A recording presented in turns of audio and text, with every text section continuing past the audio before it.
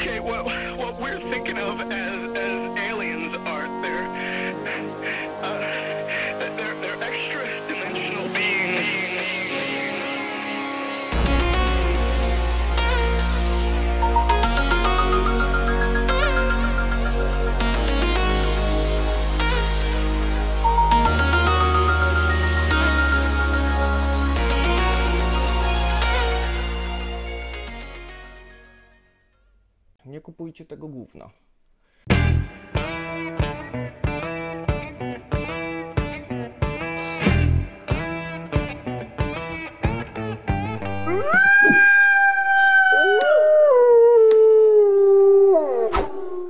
Następuje najgrubszy unboxing ever. Grubiej to żeśmy tylko unboxowali samochód. Przenosimy się teraz do USA i do hrabstwa Lincoln i stanu Nevada.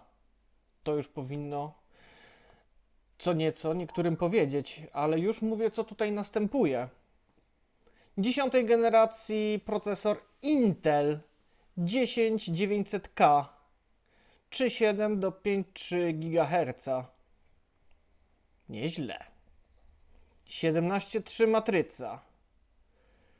Co tutaj mamy? 2 razy 32 GB RAMu DDR4 2,933 MHz. 2 terabajty pamięci. 2 razy 1 tera PCIe na dyskach M2 w systemie RAID. I 2 razy tera e, i 2 terabajty. 2 razy 1 PCIe M2 bez RAIDa. Dwa zasilacze, 240 W i 330, bateria 90 Wh, karta Nvidia GeForce RTX 2080 Super 8 GB, GDDR6, Bluetooth, Killer Tie M, Killer Tie M, e, Wi-Fi, Windows 10 Pro. Bate, e, gwarancja na baterię 3-letnia, 4-letnia gwarancja Dell Next Business Day. Rok ubezpieczenia od wszelkich wypadków. Więc co? Otwieramy. Ale jestem podjarany.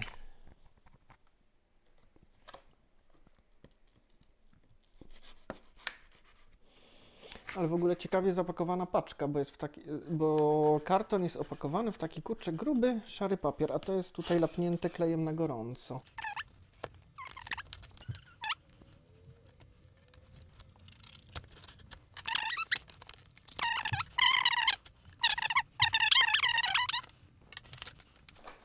No to dobra, z kartona. Bo tutaj można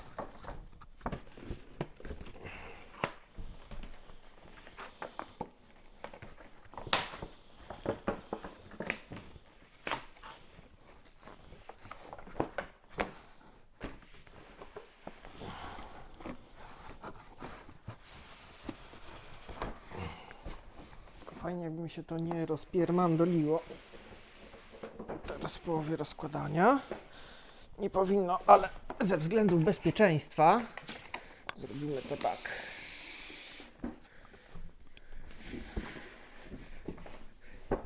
Taki jest gruby unboxing, że aż jest operator dziś. To operator podejdzie i pokaże.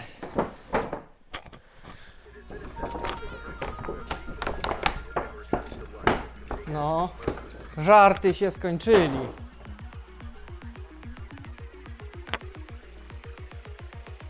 No. Czeka operator teraz. Sprawdźmy, tu, ja, jaka tu jest ten systema na otwieranie. Aha, chyba tak po prostu idzie cała czapka w górę. Nie. Nie cała, tylko się to będzie jakoś otwierało tak na zawiasie. Aha, tylko to trzeba wcisnąć.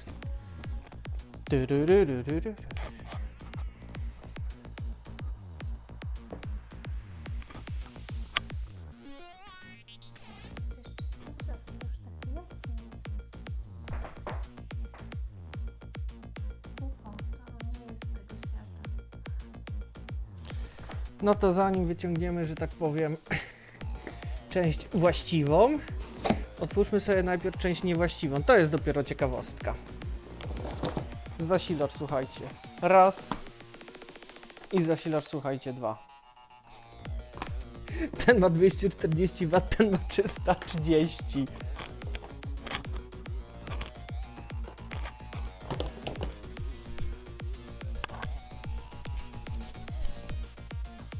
No, jest moc. Także moc już nie musi być z nami. Moc możemy sobie przełożyć tutaj. I produkt właściwy. Ale jestem podjarany. To są papiery jakieś, to papiery, że tak powiem, można postudiować później.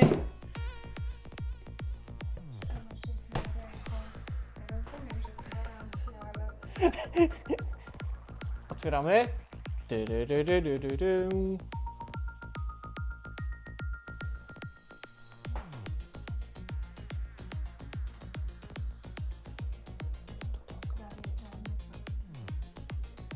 Grubo jest.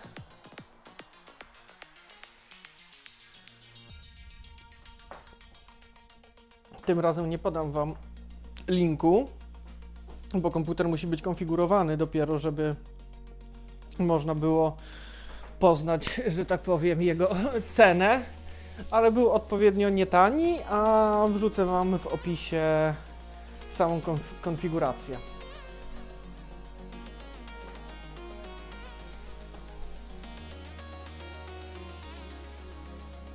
I tak, z wyjść co tu mamy? Mamy dwa razy USB, mamy czytnik e, kart pamięci. E, tutaj mamy HDMI, to cholera wie co to jest. Tutaj mamy internetowe, dwa zasilające. To w sumie to też cholera wie co to jest. Thunderbolta mamy. Następne USB, no i wyjście mikrofonowe i słuchawkowe. O, żona tutaj patrzy, że są dwie kamerki, a dwie kamerki mogą być, bo to jest w ogóle komputer, który będzie śledził moje oczy. Jedna kamerka tutaj, druga kamerka tutaj. Jest klawiatura numeryczna, tak jak sobie życzyłem i chciałem. Klawisze płaskie, są dość niskie, ale, ale pracują dość miękko. Nie ma tutaj tego, tego giga, czy jak on się tam nazywał, co miałem w tamtym drugim komputerze. No, ale nieźle jest co, ale jest maszyna. No przyniosę, pokażę Wam drugi laptop dla porównania starego Dela, dziadka. I tutaj sobie możemy porównać. To jest mój stary Precision M6500 z Intelem i7, 32 GB RAMu e, z dyskiem SSD 500 i tam chyba było do tego, nie wiem, tera na pamięć. Ten komputer generalnie stacja, stacja robocza i on dobrze ogarnia programy graficzne, ale nie obróbkę zdjęć i filmów, tylko te inwertory, autokady i inne, ale to jest komputer z 2010 roku, więc czas na niego przyszedł już nie ubłaganie. A tutaj jest nowy następca, ale się jaram. Aczkolwiek nawet, nawet jak tego wyciągnąłem teraz z pudełka i wyciągnąłem tego z plecaka, to to jest już w całym dotyku zrobione jak gówno. To jest zimne, aluminiowe, no to wszystko to plasticzane, panie. Także teraz ładowanie i będzie przeprowadzka.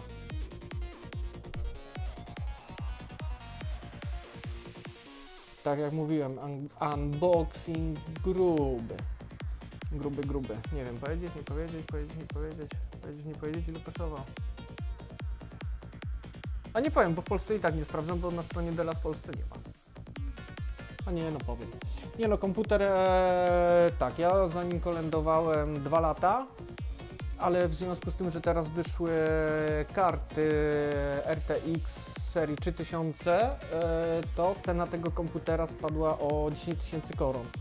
Ale i tak, i tak, 55, czyli około tam 22 tysięcy złotych. No, kupa kasy. Straszna. Ale sprzęt na pewno będzie, będzie na lata.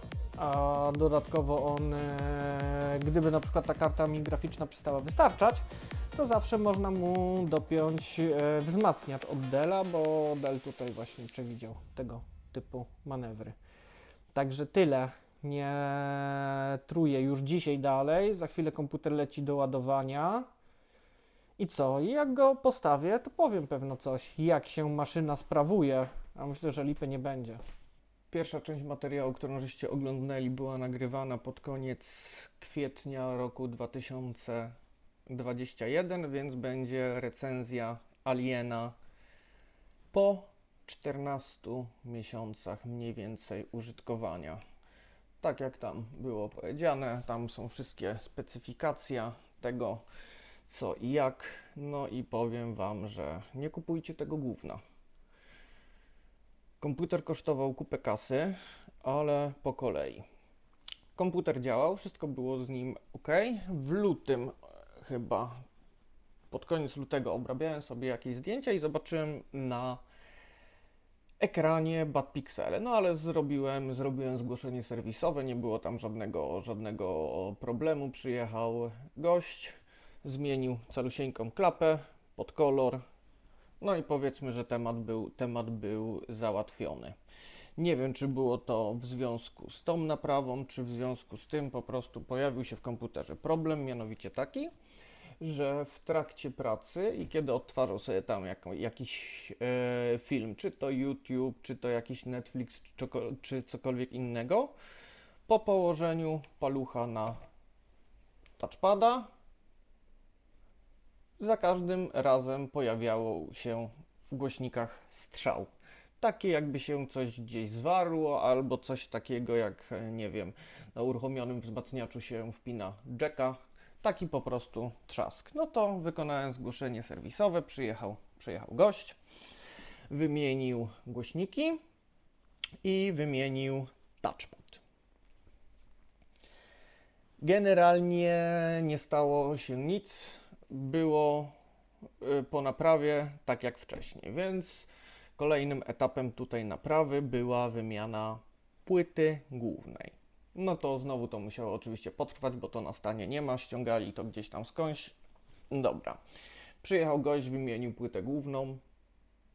Komputer nie wstał. Trup. W ogóle nie było, nie było żadnej możliwości współpracy gość, gość ten serwisant był, że tak powiem, dość sympatyczny, ogarnięty, więc tutaj nie robiłem żadnego, żadnego dymu, nie zarabiam na tym komputerze, więc mogłem tam powiedzmy 3 dni sobie poczekać. No to po chyba trzech dniach przyjechał gość ponownie z nową płytą główną i z nowym procesorem, bo to jest na slocie ten procesor i zgadnijcie co.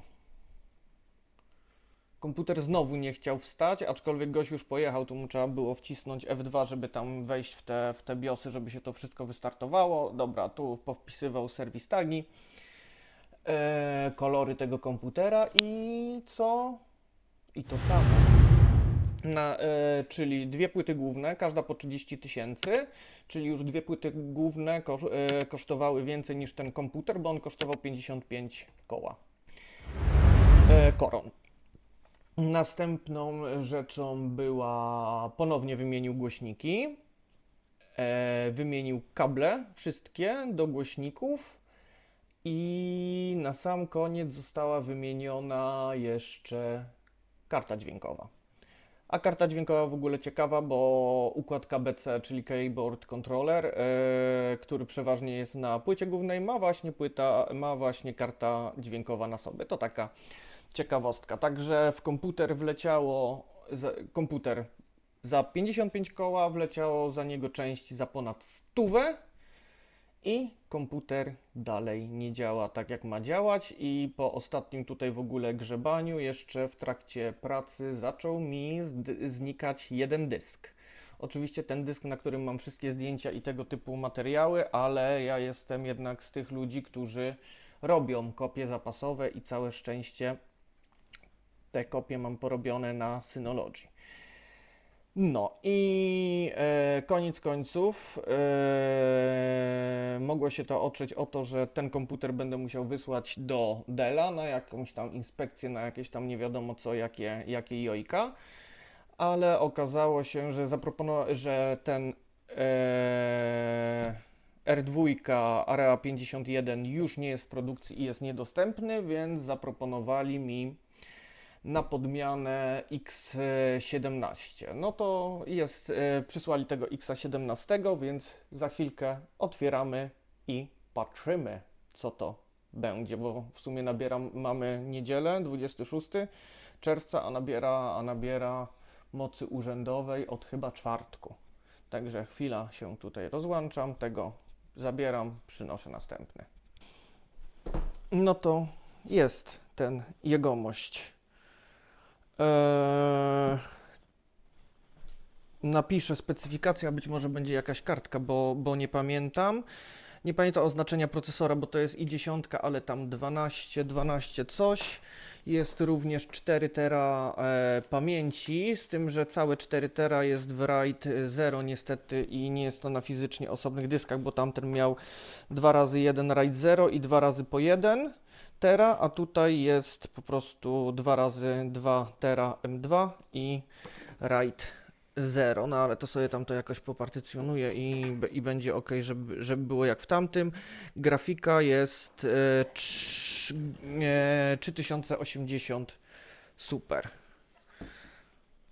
Widać go tutaj. Widać. Ja tylko mam nadzieję, bo tam czytałem kurczę po tych forach rozmaitych, alienowych i innych, że oni lubili też zrobić takie jaja, że na podmiankę lub, lubią dać ten re, refablished, czy jakiś tam, że komputer już naprawiany. To jest pewno sam ten on komputer. Tutaj mamy tekturek i tutaj mamy ładowarkę, co ciekawe jedną jedno, ale z tego co widziałem, to z alienami w ogóle wyniknęły jakieś problemy w Stanach, że część w ogóle była wycofana ze sprzedaży ze względu na konsumpcję prądu, bo e, przypominam, tamten miał zasilacz 200 chyba 8, 80 i 340, a zresztą już Wam powiem, tylko zniknę na chwilę. Jeden zasilacz był, moi drodzy, 330 W, a drugi był 240. Więc dość to miało taki apetyt na prąd niemały. Dobra, to mamy tutaj wyciągnięte. Więcej tutaj raczej w tym opakowaniu nie widzę nic. Też żadnej faktury, specyfikacji, więc to mam pewno na mailu. I konkluzji, i generalnie powiem Wam, że w życiu by mi nie przeszło, że tej klasy sprzęt będzie robił takie, takie, takie jaja. Ja oczywiście wiem, tak, trzeba sobie było wziąć stacjonarkę i za taką kasę to byś miał stacjonarkę taką, że ho, ho. Oczywiście, że tak, z tym, że nic się nie zmieniło. Ja potrzebuję laptopa. Niestety i tutaj jest problem. No to tutaj jest jakaś taka folijka, więc myślę, że należy zacząć od tej folii.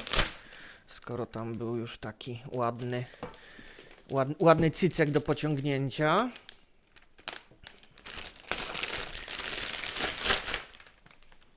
Folia out.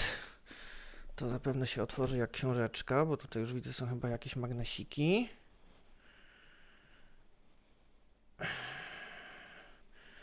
To jest chyba też właśnie. O, w sumie to spoko pomyślane. Nie no, wygląda na nowy. Chyba. Tutaj Mamy jeszcze jakąś karteluchę. Możemy sobie zerknąć. O co tu tutaj chodzi? X17R2. O, nalepka jest. Mam nadzieję, że wejdzie do etui z tamtego komputera. Nie no, wejdzie, jest mniejszy generalnie i cieńszy. Mm, support, ciekawe czy jest, czy jest jakaś ta aplikacja. No ale nic, to będziemy, że tak powiem, widzieć. Na razie otwórzmy i zobaczmy. Tamten miał fajną tą e, alienową apkę, bo można było sobie skomunikować po prostu telefon i mieć na bieżąco wszystko z telefonu. Zresztą to niech leży, to nie są rzeczy jakieś bardzo istotne. Zapakowane ładnie, tylko że, że tak powiem, członek z fajnego pakowania, że jeżeli, jeśli to nie będzie działać, bo naprawdę chyba oszaleje, jeżeli się okaże, że ten komputer jest też po prostu sztrucel. Tamten miał jeszcze w ogóle miał dość ciepło. Dość ciepło, co mi się też wydaje trochę aferą, że ludzie, że firmy pakują tak mocne graty do komputerów i nie są w stanie tego schłodzić. Zobaczymy jak ten będzie, będzie się zachowywał. Dobra.